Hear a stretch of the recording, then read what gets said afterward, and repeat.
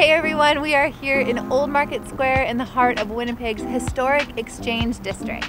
Today we're going to share with you a few of our tips for how to spend a wonderful 24 hours in one of our favorite parts of the city.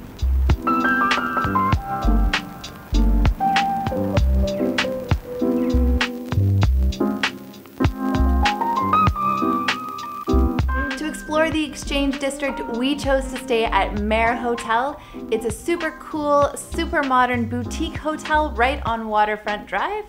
Our room even has a beautiful view of the river. You would barely even know you're right downtown.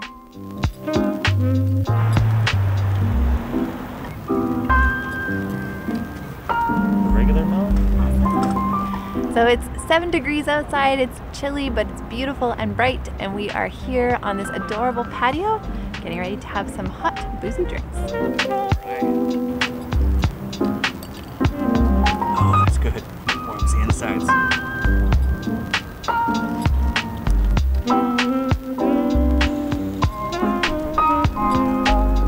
Yes. Yes.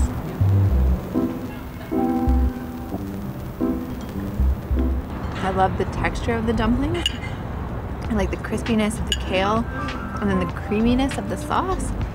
It's so, so delicious. I highly recommend the Amsterdam Tea Room. The food is amazing. The cocktails are crafted perfectly. Every single time we've ever come to this place, we've loved it.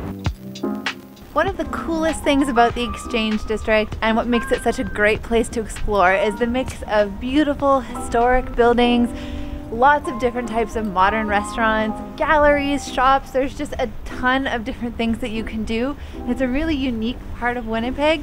You have to check it out. Yeah, we are in the Exchange District, which is 20 square blocks of National Historic Site. Um, most of these buildings popped up between the 1880s and the 1910s, which is part of Winnipeg's boom period. One way to dive deeper into the Exchange District and learn more about its history is to take a walking tour with the Exchange District Biz. They offer several different options depending on your interests, and all of them are super cool. Our guide was Sarah, and we had a great time with her.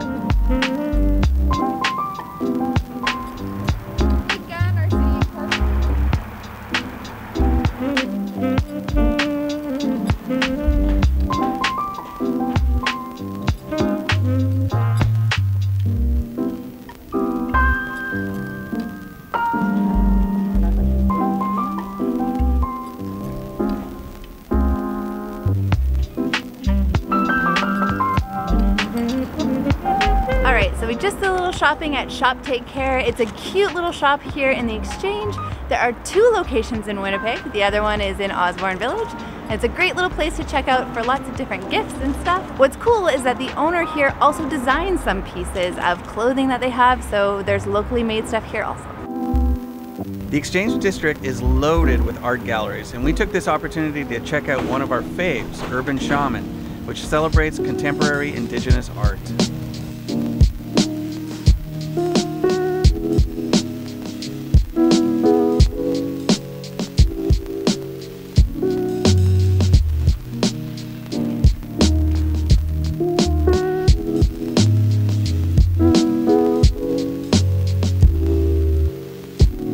One of the things about doing an adventure like this is that we are in the middle of a pandemic, but one thing we've noticed since we've been down here is that people are really being safe. They're masking up, uh, sanitizing their hands, keeping distant, and all the restaurants and all the bars, etc., seem to be keeping people apart safely. So that's been great.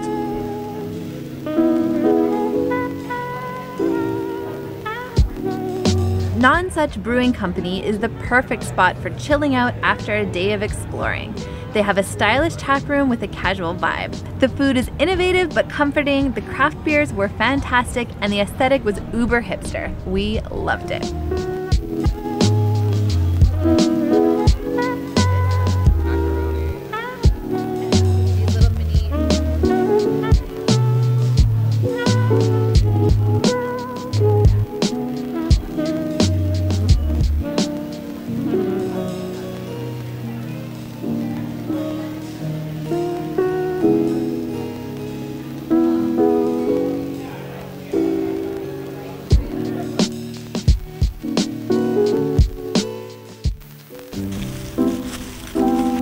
Walking through Stephen Juba Park this morning on our way to Harrison Coffee Company.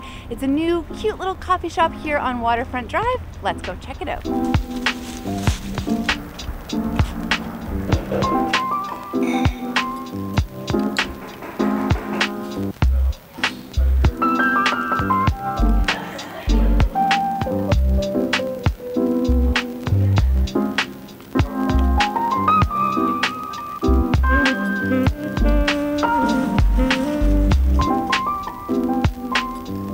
Juba Park and the Riverwalk are totally worth checking out, especially if you can catch the fall colors.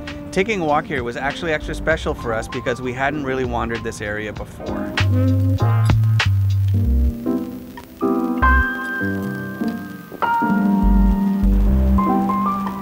There are plenty of places to grab a great breakfast in the exchange.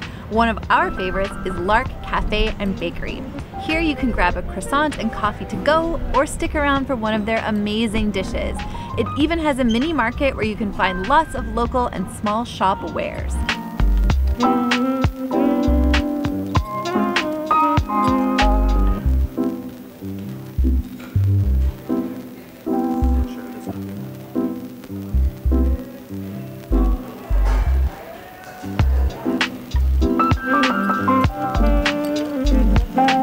The Exchange has an amazing vintage vibe, which means it's often the backdrop for movies like the Hallmark Christmas movie we stumbled onto. Merry Christmas, everyone!